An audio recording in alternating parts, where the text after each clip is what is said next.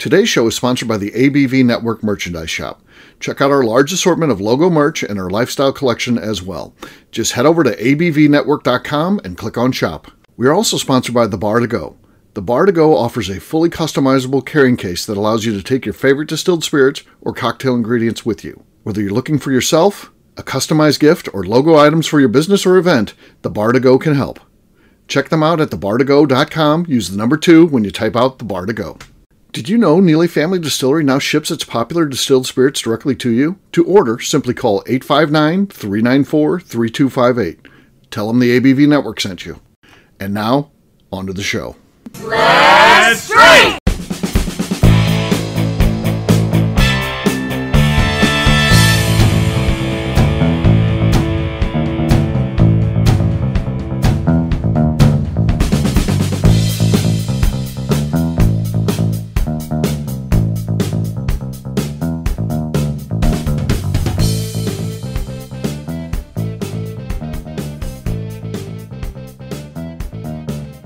Welcome to the Bourbon Daily, the podcast about everything bourbon delivered to you every day of the week. Today on the show, we learn about the bourbon journey of Ryan Thompson.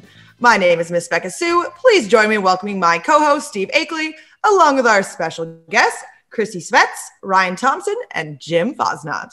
Hey, gang, what's up? How are we doing? What's up, guys? Oh, not much, not much. We were going to be talking about Ryan and his bourbon journey. We got all kinds of questions. We want to figure out how all this stuff happened. But before we get to that, we got a little chit chat we got to do because Jim said there's something he's dying to talk about. What is that, Jim? So I love to cook, so I'm usually the one that does the grocery shopping, and I don't enjoy grocery shopping just because people are idiots. So, what is your biggest pet peeve in the grocery stores or grocery shopping in general? I'll kick this one off and Okay. say the whole experience is a pet peeve of mine because I am with you, Jim. I don't like going to the grocery store at all, so I try to avoid it as much as possible. Uh, but then there are there are nuances uh, underneath that uh, top layer that uh, I'm sure uh, you guys can hit on as well. But I just don't like the whole experience in general. Yeah. I, I I was at the grocery store today, and uh, one of my pet peeves came uh, out. It was fully engaged because now, for some reason, uh, I don't. People always have to call who's ever left at home to talk about the options, and and literally a full conversation on speakerphone. Of course, it's a woman in a, in one of those carts. The only uh, thing that's wrong with her is she's uh, morbidly obese, I think, and and she's on the phone and she's talking. She's got the whole barbecue sauce, and I need to get in there. I need to get some barbecue. She's got the whole thing blocked, and she's having this whole conversation. They don't have the one that you wanted. They don't have sweet honey. What would you like to get? And the person says anything. Just pick one. And she's like, "Well, do you want like a Kraft?" And then she's like, "What about the the the Kraft? This the regular Kraft? Yes, I'll, that's fine. Just grab that. And go. Well, what do would you like the Kraft, the the mild and sweet, or just the regular? Uh, yeah, either one. You just pick it. It's fine with me. Oh, they got one that has bourbon and is sweet. What, what, what do you think? And then then she goes through all the Kraft ones, and then she decides she's got to go through the Sweet Baby Ray's, which there's like 20 of those. And the person is literally telling her, pick whatever you want. I don't care. You can base it on price. You can, you know, wh- whatever is best, just grab it. And the woman would not accept that. She'd be like, okay, I'll get that. And then she'd be like, well, wait, what about this?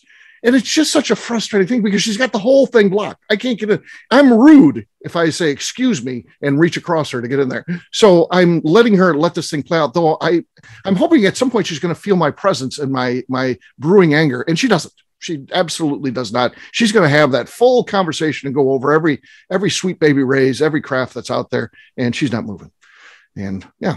Uh, so Steve, that- I when I come across people like that, I always think to myself, you know, I'm lucky to have three minutes of, of your presence in my lifetime, but just think how lucky that significant other is at home that has the rest of their life with a person like that. Horrible. Uh, So- okay. That's a So good I point. have one, you guys. I cannot stand. I mean, I do like. I like to grocery shop. I like to cook, but I get really frustrated when people bring their whole family. Oh. Oh, So they have the cart and six children. oh, that are all The kids are all just going in different directions. Screaming. They got to touch everything. Quiet. Like it's not a fun experience, really. So why bring the whole family or let the Right. kids sit in the car? Yeah. And then I don't like the loud talkers that are have their um. Well, it's I wouldn't be Bluetooth anymore, but they talk really loud, and you're like, are they ta- uh, Right. talking to Talking me? to me? Or- Yes. Like I'm like I don't know. I'm like, huh? And they're like, I'm not, nothing. I'm on. I'm like, I'm sorry. They do this. Finally, I realize. Yeah. Yeah. Like the ear point, like like you're an idiot for being Right. like, did someone just speak to me? And you're like, you're like, it's in my ear, and you're like, Yeah. did I do something uh, wrong? There's a lot of phone conversations that happen at the grocery store. Beka, how about you? Whew. I, I am the primary uh, and only virtually uh, grocery shopper in the household. Um, and so I get to deal with all the grocery shopping people. Um, there's a few different things that just really piss me off. Uh, for one, I don't know how this happens, but it seems like, and it's not every grocery trip, but there's always one couple who just consistently get in your fucking way in every goddamn aisle that you go down Right. Trying to go down the aisle, and there's the two of them talking about the sweet baby fucking rays. Right. I don't know, honey. And they're like, are taking it the whole aisle. And you're like, can you just get the fuck out of my way? Yeah. On top of it, the same couple thinks that they should have their grocery cart right in front of all the things that you need to open up, like all the all the the, the frozen and, and the the refrigerated stuff. They have their stuff right parked down, and then the two of them are standing in front of like four other cases, so that everyone else is like standing there, like, "Can you guys please move?" And they're pushing around like for like this the specific sour cream, and you're like, "Can you just grab a fucking sour cream and stop taking up this entire aisle?" And like maybe when you go up here, move your cart to the back Yeah. so that other of us can walk up to that one next to you and grab something out of it because you're blocking it with your fucking grocery cart. Yeah. You know, you know what? One time we had this conversation, everything you're talking, Beka. Imagine this. McNew had the same conversation, but everything was the opposite. Like, if I like put my cart like in the middle of the aisle, that's where I've left it. It's my you do not touch my cart because I I put it there. I'll touch it when it's ready to move. And if you don't like it, go to another aisle. There's 22 aisles in the store. You can go to another one. And I'm like, are you kidding me? This is so rude. I'm trying to get done. I'm trying to get out of here. You're on a mission. It's qu- like or if she's quick as I shopping a section, she, don't don't don't ruin her because she's shopping the section. It's that's her turn, her time to be there. It'd be No. it'd be like if there was a phone booth and you walked in and, and You hung don't up the get and a turn. calling. Turn. Yeah, it's not a turn. You get in, you get the fuck out, and you get the fuck out of my way because I'm trying to do. I'm on a mission, and I am being, mind you, I'm being very polite the entire time. I'm like, "Excuse me," and I try to like, move my cart out of the way, and I'm doing all the correct things. Even when I like load up all my stuff onto the the, the fucking belt. I mm-hmm. like put all the things together. I'm like, okay, the, like here's the meats together, and here's the cheeses. These are the these were non grocery items, and so they'll probably put these into the, a different bag, all of them themselves. And then it another thing that pisses me off is when they don't have a, a bagger there, and like and they have baggers, but just one is not at that particular station. And so then all these things that I just very nicely separated so that they could very easily toss them all in one bag and get done with it really quick. This schmuck is off like smoking a cigarette outside not bagging my stuff. I understand taking a break. I get that, but get some more baggers so that people can get in and out of there. Cause then it's this like poor 95 year old woman being like, I'm so sorry. Uh, oh, is this bag a little heavy? And she put like three things in the one bag and then double bags it because it's too heavy for her 95 year old arms. And I'm like, I like pick it up. And she's acting like it was a cinder block where it's literally like this. Beka picks it up with a pinky. Yeah, I'm like, Just a teacher. "Oh, this one's a little heavy. And she's like, I've got another lady behind me that's got a full cart. I've got a full thing of things. And I was trying to make it go fast, but now I can't make it go fast because I've got grandma trying to bag my stuff as slow as possible. But it's not her fault because she's old. She's supposed to have a bagger here, but he's off Wow. texting his buddies. Yeah. Yeah, man, go. you really struck a chord here with Beka Yeah, Sue. I this didn't question. realize Yeah. that until I started talking about it. How much All right, Jim. Jim asked the question. What uh, what's your grocery store pet peeve, man? So mine goes along the same line with what Beka Sue started with. Like, it- it's just people's like, you know, spatial relations. Like, know where you're at, know who's around you, and blocking the aisle. I had a couple months ago, same thing. Like, they wouldn't move for me to get around them, and they even like looked back at me and huffed. And so, I was went to McNew. say- That was McNew you ran into. Yeah, so so like two hours later, they're coming down the aisle. I just parked my cart fucking sideways in the aisle, and I just sat there and looked at stuff and made a phone call, and they're just looking at me the whole time, like huffed. But the worst to me, the absolute worst with that is people. You know, you're checking out, you you're done checking out, and you're heading towards the exit, and there's always some fucking couple who stops right in the exit door to check the receipt for prices. Blocking the whole goddamn. It's only way out. one way out. Yeah, and then they're blocking it. Like Yeah. four people behind them waiting to get out, and they just Whoa. stop dead center in It's the an door. arrogance. They don't Tell me that hasn't happened to you. It's I an feel like it happens to me all the time. How, Yeah. how, how are people just so rude these days? Like, I don't, I don't even understand. I'm like, where do these people, who's their Yeah. mom? who Yeah. raised them. This My topic brought out old man anger in every single person. like, Every single my person on the panel here, and only two of us are old men. So yeah, there you go. my mom would kill me if I did if I did any of that stuff, like taking up the whole aisle and just being rude in general, and like Reading the nutritional facts. I don't care about the nutrition. Yeah, I don't either. Like, do re- read them before you get there. Before you If make your buy list. search it, find it. Can I eat that? Oh, I can't. Perfect. Not buying Yeah. it. There you go. There you go. Well, I think we need a drink. So it is time to drink. What is everyone? We're starting with Beka this time. Beka, what do you got there? Uh, let's see here. I try to go like lowest proof to oh, okay. This okay. So this will be my next one. Is this 80 proof? 90 proof? Uh, I have got some Woodinville uh, straight bourbon whiskey. They are out of Washington. Okay. Okay. Washington Woodinville. All right, here we go. No, not much there. Not much there. Not enough. Uh, well, it's enough to take the lead, I guess, because there's been no one else go. But uh, Ryan, what do you got? You got to beat uh, Beka there. We're going to move on from Peerless uh, and then just uh, enjoy a little 10th Mountain bourbon here. Tenth mountain. so- okay. Okay. Looks like a well loved bottle. proof. Let's see what's left here. Yep. See if there's any life left. No, not much. I think much. Beka's still got the lead. Not much. Beka's still got the lead. Chrissy, what do you got? Actually, um, it's it's my go-to. It's it's a wood hat. It's the Twin Timbers. Okay. It's my, one of my faves. Let's see. Let's go on this one. Okay. That's enough to take the lead. Enough to take. Chrissy Can I takes just the lead. point something out, though? What's that? That Beka Sue's got a really nice microphone. I know you do, Steve. Jim, I'm not sure about you, but Chris, do you have a microphone? No. Aside from what's in your laptop or your. Yeah, It- it's it, it. You can't hear. See, let's blame it on that. that's what I'm saying. Well, you got enough to take the lead. He's he's saying it would have been even more if you'd had a good microphone. So- Yes, absolutely. I don't have a good Well, the microphone. either. problem is you're in Colorado, and you can ask Lenny that. Oh yeah. Lenny's done a whole study on this. So yeah. Lenny, uh, he all This is the altitude. Yes. It's yeah. because I'm up in the mountains. It's not my fault. Hey, we'll go with it. We'll go But with then it. he bought a good mic, and then he did start to win. yeah. And fresh bottles all the time. Right. Yeah. Uh, Jim, what do you got? Uh, I thought I would open a bottle of 10th Mountain as well. So Oh, this one's uh, going to come in at 130 proof, a little above the 80 proof you like, Steve. But this is well loved. I don't know if I'll just.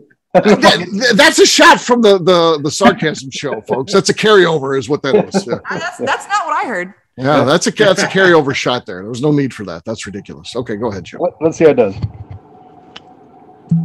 Okay, no, not enough. yeah, not much.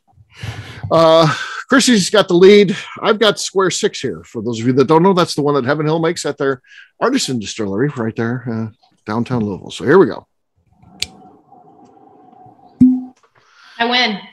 Yeah. Whoa, whoa, whoa! I don't thi- not until I declare it. Yes, uh, that, we we got to go to the judges. That she she prematurely, uh, folks, folks, do not celebrate Christy's win yet. We got to wait for the judge here. All right, she won. She won. She did absolutely won. Cheers, Yeah. Chrissy. Cheers. Oh, cheers, you guys! I'm a winner. Winner. All right, we'll take a quick break, and then when we come back, we're talking to Ryan here. We want to find out about that bourbon journey. We'll do that in just a few.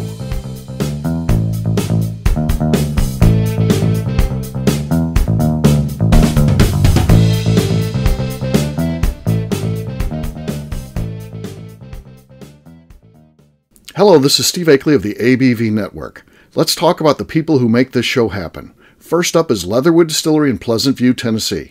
Company founder Andy Lang started distilling as a hobby while serving his country as an elite Green Beret. Andy distilled all over the world during his time in the military and brought this passion back to him in the U.S. when he returned home.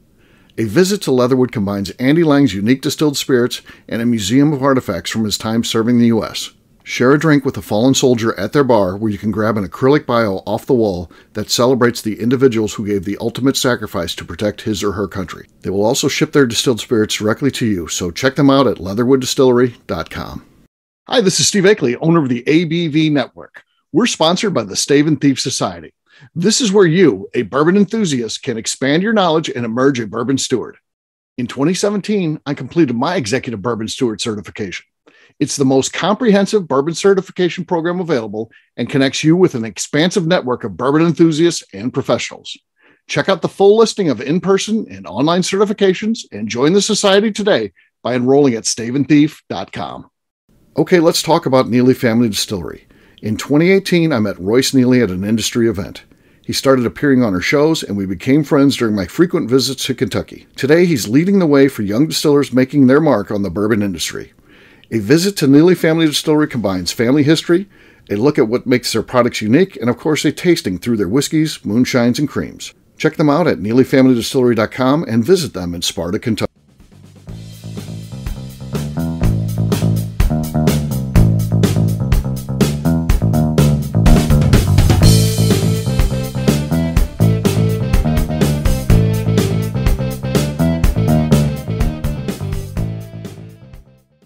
Bob. I'm in Ohio. You're listening to the Bourbon Daily.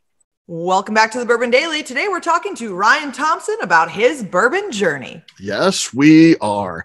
So, Ryan, uh, we'd like to do this round robin. So, everybody's going to be asking you at least a question. Uh, I'm going to kick this thing off, and I want to go way back. Not not like when you started, you know, professionally getting into bourbon and stuff like that. I'm talking about what was your exposure to this growing up? Were you a household that drank bourbon? Uh, you know, your parents had it. Uh, did and when did you start to like bourbon yourself in terms of it being a drink, something that you enjoyed drinking? So, kind of take us way back for this first question. If you want to go way back, it probably uh, goes back to my roots with the Ultimate Lemonade stand growing up as a kid. I Uh-huh. didn't just sell lemonade for 50 cents or a dollar a cup. I had I had bubble gum and candy, and I would hoard fireworks throughout the year and sell those during non-fireworks season, if you will. Uh, collectibles like garbage pail kids and stuff along those lines. So I had a, a fully decked out lemonade stand uh, for uh, Was there, a, a long was there time. bourbon there too? I mean, No, unfortunately not. Oh, I was going to say, I when was does it like- start tying into bourbon? Uh, oh, okay. I, I thought, man, this was the ultimate lemonade. If, if he's serving up bourbon, he had the, the coolest parents If ever. he was doing bourbon wish. lemonades, I would be in. But, uh, well, I guess that ties into our adult ice cream truck that we did during quarantine here in the Vail Valley, but that's another story. But uh, where I was going with that is now I always look at our tasting rooms kind of as the ultimate uh, lemonade stand. It's that's all it is. It's just the adult lemonade Right. stand is where we're going with it. So uh, my dad uh, enjoyed his cocktails. His go-to was a uh, seven and seven for a long time. Uh, and then certainly when I hit my teenage years, uh, I don't know, I was kind of a late later bloomer. Uh, got into started drinking beers and whiskeys when I was 17 years old or so, somewhere there.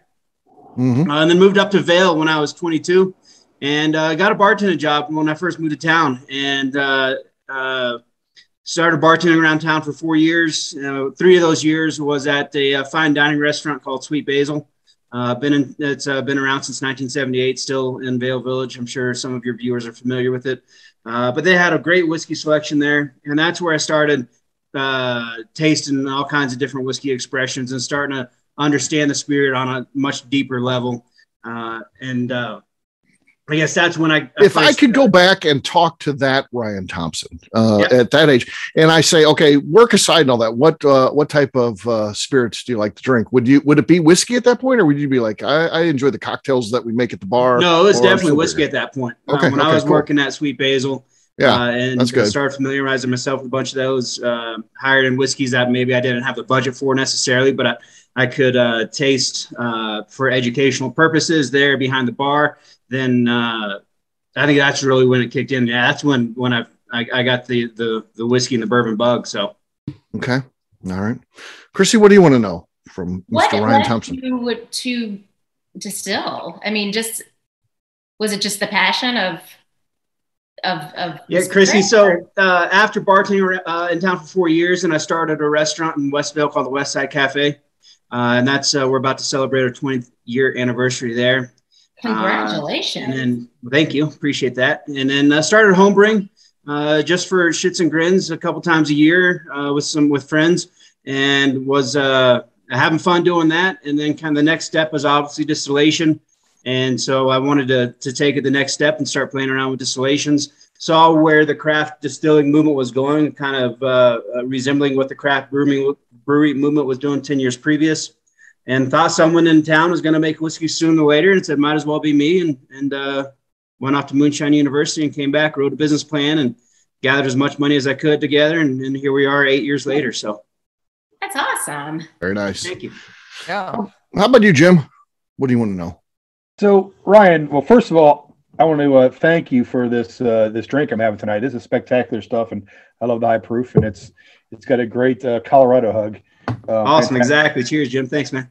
No problem. Um, how long into distilling was it where you thought you'd kind of, and I don't know if you ever master your craft, but when you thought you had kind of just got your arms around the whole process and you were comfortable with what you were doing? Like, how long did that process take you where you knew you were making good product? Yeah. Ask me 20 years from now, I might have an answer for you. Well, I think it's something we're constantly learning. I think it's always something that we're trying to improve on in one aspect or another, constantly uh, learning. We're curious. I think that's very important. Uh, we not only make our everyday expressions, but we're laying down some experiments as well. I, I think a, a, lot of distillers out there are. I think that's where a lot of the fun comes in. And so uh, I think the second that we we rest on our laurels is probably the, the second we stop growing. And so we're always continuing to, to learn and to, to grow and see what's next for when, us. When did you think there might be something there though? Because there's different times. I mean, obviously when you're making it yourself, uh, you know, you, you guys are making it. I'm sure you're trying it, and, and, but I always think that's that's kind of the worst way because it's always you know you've invested in this. Right. That, that, you can't judge it by that.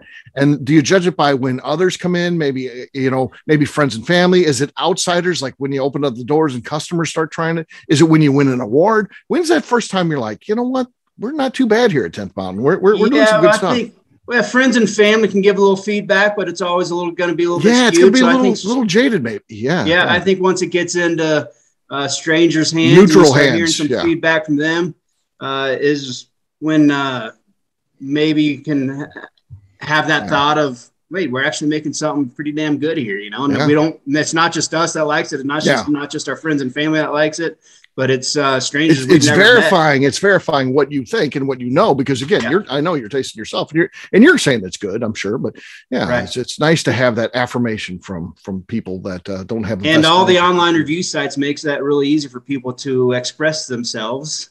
right And we have across the board, we have a pretty pretty strong uh, reviews on, online. So yeah that's a um, positive and a negative because yes on the positive side anybody can review your stuff. On the negative side anybody can review your stuff. Right. i mean it's a double-edged sword. It, it totally is because there's people out there that have agendas and they don't have anything invested. That's the the only problem with you know Yeah. relying on bloggers and stuff like that. There's no investment. And i can i can start up a, a whiskey tasting blog for free. Uh, there, there's plenty Right. of sites that'll uh, do it for free so they have nothing and versus you i'm i'm judging you who has everything that you've got and more because you know there's debt involved and all you know eh, you've you've got your whole life wrapped up in this thing and i get to judge you and, and why because i've got a free program from uh you know wordsmith or whatever it is you know from uh, Zuckerberg. yeah yeah so uh, it's it's stupid to me yeah. And Ryan, Yeah. I'll say, you know, I'm lucky enough over the last several years to taste hundreds of whiskeys a year. Um, and this year, Steve brought a sample back from your from your distillery that was a hazmat. That's probably the best thing I had all year. Yeah. Well, Jim, thanks, man. I appreciate that. That's awesome to hear. Listen, I'm, not, I'm just being honest with that there, and I, I take I'm that's not taking anything away from everything else I've tasted. I've had great things over the years, but that was spectacular. Yeah, thank you. Appreciate it.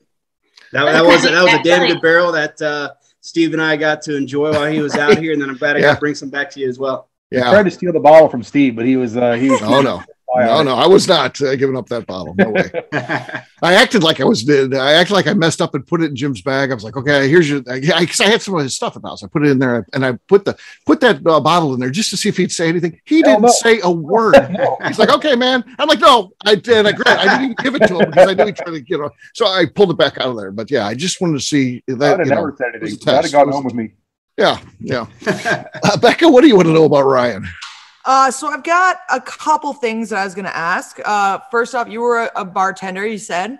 So I want to know uh, your favorite bourbon cocktail that is not neat, not a neat, not just with ice, something like that. I want to have a real cocktail. I also want to know what your uh, your favorite proof is on bourbon and what your favorite mash bill is with bourbon. Great. So, uh, favorite cocktail. I guess if we're gonna stick with the bourbon cocktails, um, that's not neat. So add a rock to it. Okay. Does that count? I'll- w- r- I I Steve say that and you're a cocktail guy and you're saying it is. I say that's a cocktail. But Yes, we Steve we and I discussed it the other day. We said it, it is technically a cocktail if you Yeah. add an ice to it. so I'm just reading between the lines here what you said Yeah. there. So that's uh you know, you can get fancy, you can get trick, you can put nine ingredients in a cocktail and and all the flair behind going and making it stuff. And there's a place and a time for for one of those. Um, but certainly among this audience, I think a majority of people are probably going to say they enjoy their their bourbon and their whiskeys uh, neater on the rocks, and and I I'm right there with them. So Yeah. I think If you if you had to say a- something is a back to White back, Claw, right, Steve? Oh, White Claw. Yours Yeah. is White Claw. No, I've never even drank white. I have a fake picture out there of me with the White Claw where uh, Royce and Becca took it when I was at their house. They set it up on a couch, and I was sitting on a chair next to the couch. But by the angle, it looks like I had you know it was sitting It next was to me. It was Yeah. Uh, but uh, back to Beka's point, if we, if we had to look at the top ten bourbon cocktails, which it's you know it's it's the, all the ones we know, whiskey sours and uh, Boulevardiers and and uh, old fashions and uh, Manhattans and all that. Out, out of that group of what is considered the top ten bourbon cocktails, back to Beka's point, what would be your favorite out of that list? If you had, you know what? I'm going a barrel age Boulevardier. okay, okay, Okay. that's cool. Yeah, we make something similar at our tasting rooms, uh, and it's delicious and it sells great. Uh, I That's a love it. classy cocktail. I like that one. Yeah. yeah, I think That's when it's you're classing uh, it up a little then bit. Yeah. Add a little another layer to it uh, by barrel aging it for about a month or so before you before you pour it. So a barrel aged uh, Boulevardier. Yeah. Nice. Yeah. I think when you're when you're wanting to class up, you go with the Boulevardier. If you want to class down, you just want to be. Uh, I think the whiskey sour is the working Sure. man's uh, uh, classic I love cocktail. sour. I do Yeah. too, but uh, yeah, egg white or no egg white? Uh, egg white for sure. You got to have the egg white. You have to do egg white. If you don't do the egg white, you're not doing it. Yeah. Yeah. almost made one for the podcast tonight, but I uh, well, I'm just Okay. drinking one on the rock. So All right, all right. Beka, you had you- you- So her question had two more parts. Yeah. The proof uh, what proof do i gravitate to uh, this is a, more of an easier question to answer because we do a blind barrel pick twice a year at our distillery uh, between myself and our distiller and we usually have a special guest or two uh, join us. And our distiller our head distiller sean hogan he and i usually gravitate towards something a little higher proof while our guests gravitate towards something a little lower proof. And so it's always kind of a fun little uh, back and forth as to where we're going and what we're choosing. Uh, Sean and I uh, know uh, each other's what each other like at this point, and so we know where we're going. And so we, I tend to gravitate towards something in the 110 to 115 proof, Yeah, somewhere in there. And then So- favorite mash bill. 75% corn, 21% rye, 4% malted barley. It's our bourbon, baby. Yeah. there you go. He's into that. There you go. There Come you on. go. no, I think uh, aside from that, um, I'm I'm across the board, Beka Sue. I'm it's uh, I don't really gravitate towards one in particular. Uh, that people asking, you know, what's your favorite uh, bourbon to be drinking, and aside from our own, and I I go across the board. Um, I Yeah, don't don't don't ever limit yourself. Right? Yeah. Yeah, There's I like to taste- there. there's plenty out there that you can have one a day and still not uh, drink all of them here in the U.S. and uh, and so I like to just change it up. If I go to a, a restaurant, I look for something I haven't necessarily had, not only in a long time, but never had. Period. And so um, I like to uh, just switch things up. So All right. We've gone around the horn. Does anyone want one last question for Ryan? Last question. Is there something out there? Any? I've got one. Okay. This is the last question for Got Ryan. one more. Here we Is that- I wrote down some. Uh, what was the very first bourbon that made you realize that you liked bourbon? Blanton's go. Blanton's. There you go. There you go. right when it came out, or I guess, well, Steve, Yeah. correct me if I'm wrong, but this was 99 when I started working at Sweet Basil. Yeah. and they had just gotten Blanton's or somewhere 2000, somewhere in that area. And that's the one I, I was gravitating to.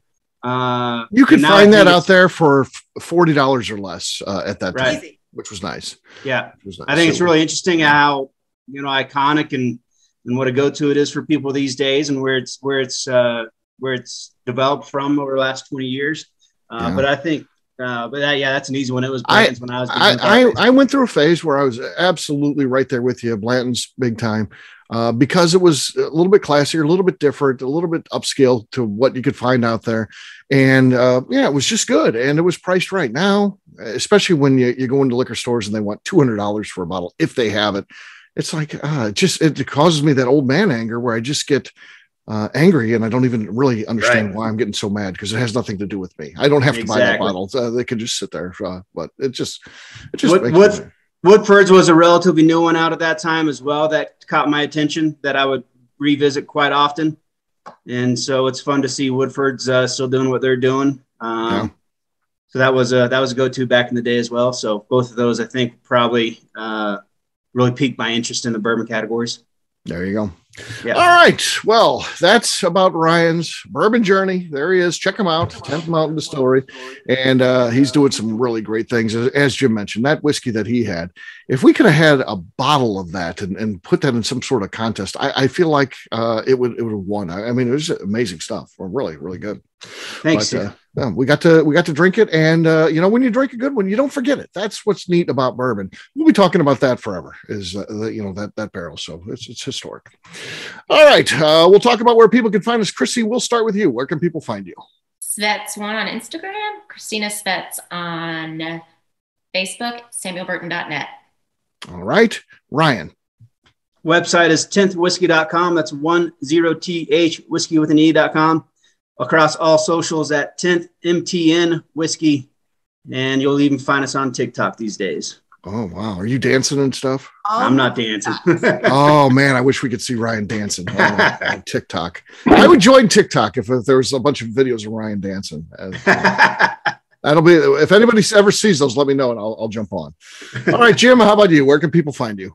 You can find me on Facebook at Jim Faznot, on Instagram at FazJim, F A Z Z J I M, or my uh, new adventures on uh, Eventbrite doing Jim's big pour barrel tastings on Friday nights. Check yeah.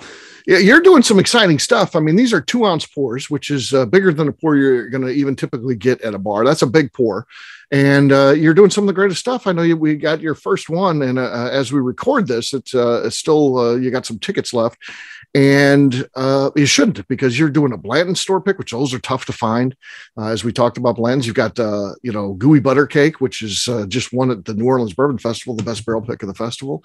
So yeah, yeah, you're doing some neat stuff with that. So yeah, check it out. It's uh, ABV Barrel Shop if you just want to search Eventbrite uh, for a producer and uh, follow that thing. So yeah, unless I saw you had about 15 followers right now, Jim. So hopefully. Uh, we'll get there. Yeah, just just getting going. So hopefully uh, get that that built up. Miss Beka Sue, how about you? Where can people find you? You can find me at Neeley Family Distillery doing barrel picks. You can also find me on Twitter and on Instagram at Miss Beka Sue, 1K, no C's. All right. For me, I'm an easy guy to find. I'm at Steve Akley on Twitter, Instagram, or Facebook. I've got a website, steveakley.com. We've also got a company website. That thing's abvnetwork.com. Check it out because everything that we do is out there. Previous shows, blogs, so much more. abvnetwork.com. Miss Beka Sue, anything else to say before we get out of here? I just like to remind the audience to please give us a five star review that includes comments. It helps new people find the show, which is very important to us. If you like what we're doing, we ask you please visit our Patreon page at patreon.com backslash the ABV Network. Great job today, gang. For audience, we'll have a brand new show for you tomorrow. Looking forward to that. Until then, take care, everybody. See you. Bye. Cheers. Bye. Peace.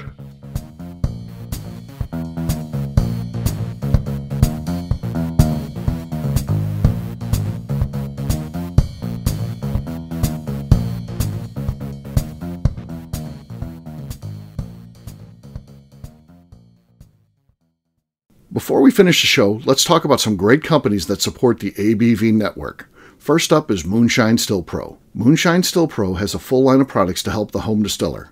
Whether you want to experiment on the stove in your kitchen or you're looking for a bigger setup in your backyard, owner Russell Creed and his team can help. They have multiple still offerings, accessories, and even grain from their partners at Goldstone Mill to assist you in making whiskey on par with your favorite distillery. They can also help you with some fabricated parts you probably can't make yourself if you are attempting a DIY still project. Learn more or order your still or parts at moonshinestillpro.com. Another friend of ours is the Goldstein family at Goldstone Mill. The Goldsteins offer a variety of heritage and heirloom grains to make the finest whiskeys in the world. Plus, they are more than just a grain company. They are truly consultants to make sure the grains they are providing to you or your business meet your highest expectations. Additionally, they work with mills around the country ensuring shipping is as low as possible for their customers. If you're a distillery, brewery, or even doing this at home, Goldstone can assist you. Check them out at goldstonemill.com, call them at 217 254 6613, or check in via email at hello at goldstonemill.com. The Bourbon Daily is part of the ABV Network. For more information or to become a sponsor, please visit abvnetwork.com. Thanks for listening and cheers. This has been a Steve Akley production.